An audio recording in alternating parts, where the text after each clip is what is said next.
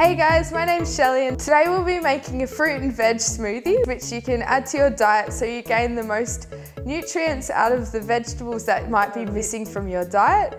Kale, about two or three leaves, half an avocado, one banana, a pear, and some chia seeds. You can use about a tablespoon, but that's to your liking.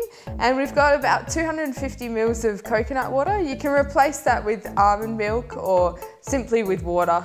So we're gonna quickly prepare our fruit and vegetable. We're gonna add the avocado. So simply scoop that in to the jug. We're gonna roughly chop our kale. Just roughly chop it so it can be easily blended. We're keeping the stalk in because that's got so much goodness as well. And our banana, just peel that.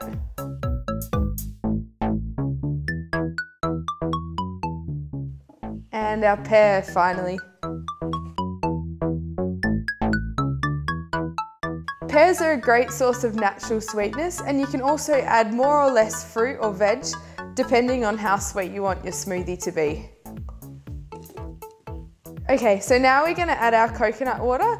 You can add some more water later on if you want a, a different consistency. So let's go.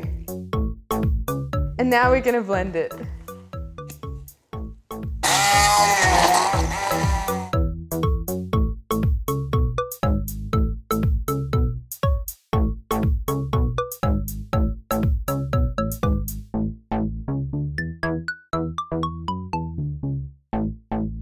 So we've blended all our ingredients together and now we're gonna stir through our chia seeds finally. Chia seeds are a great antioxidant and they also support this, our cells growth and repair. So just about a tablespoon of those.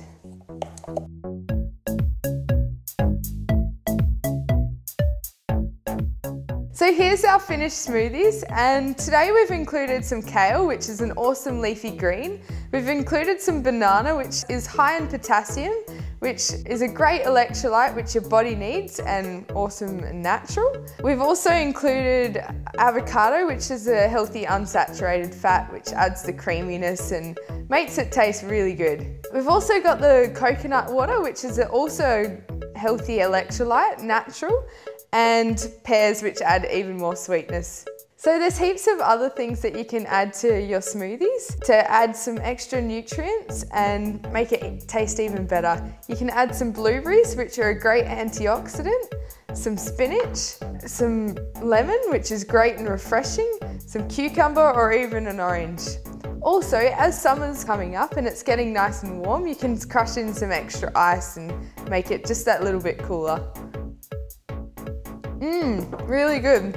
We'd love for you to give it a go and let us know of your favourite flavour combinations. Until next time, see you guys.